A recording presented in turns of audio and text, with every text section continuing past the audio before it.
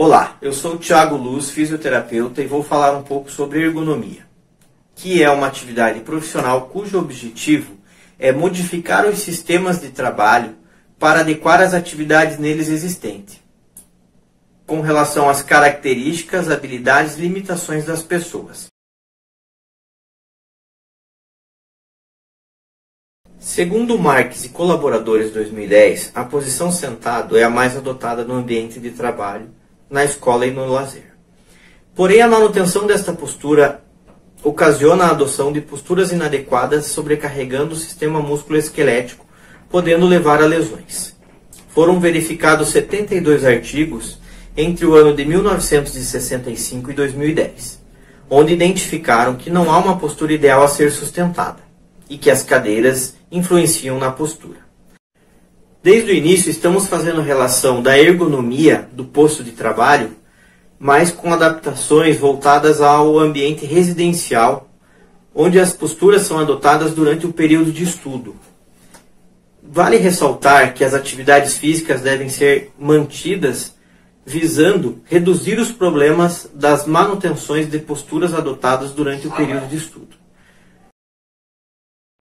Uma mente funcionando com clareza e percepção precisa também estar com um corpo que o sustenta, bem fortalecido e bem ativo. E a melhor forma de nós estimularmos o nosso cérebro para desenvolver atividades intelectuais é ter saúde física e ter principalmente uma coluna bem estruturada. Como eu estruturo essa coluna? Fazendo atividades diárias por pouco período de tempo em que eu movimente ela em vários sentidos, fazendo lateroflexões, movimentos para os lados com a permanência de alguns segundos, podendo fazer retroflexões, movimentos para trás em que eu solto a cabeça lá atrás, abro bem o tórax e tomo a cabeça para trás, antiflexão, movimentos que eu faço para frente, alongando bem a coluna vertebral e movimentos de torção, em que com a coluna ereta eu torço para os dois lados, torções essas que devem ser feitas com os pulmões vazios.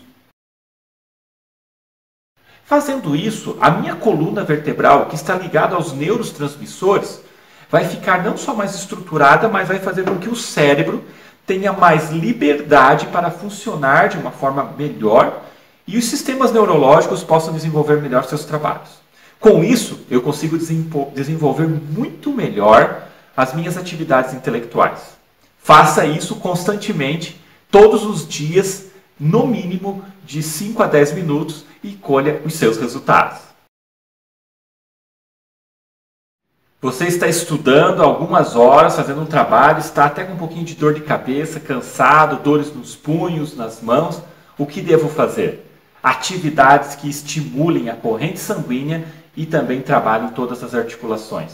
Movimentos como extensão dos das braços, extensão das mãos, alongamento dos punhos, trabalho de fortalecimento, sobretudo do antebraço e alongamento dos punhos, movimento das articulações do pescoço com os braços soltos, fazendo movimentos circulares devagarinho, movimento com os ombros movimentando bem os ombros, ativando bastante as articulações dos dedos, entra até numa forma de brincadeira, e trabalhando principalmente a força, juntando as mãos e pressionando aqui, trabalhando a musculatura dos braços e dos punhos.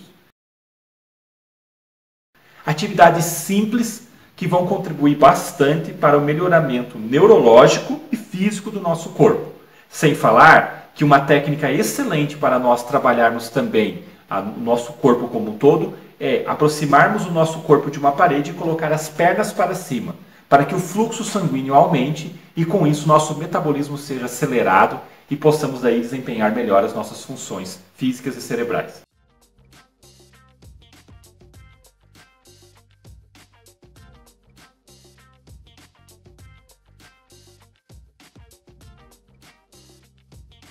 As informações deste tutorial são licenciadas em Creative Commons, CC BY NC SA.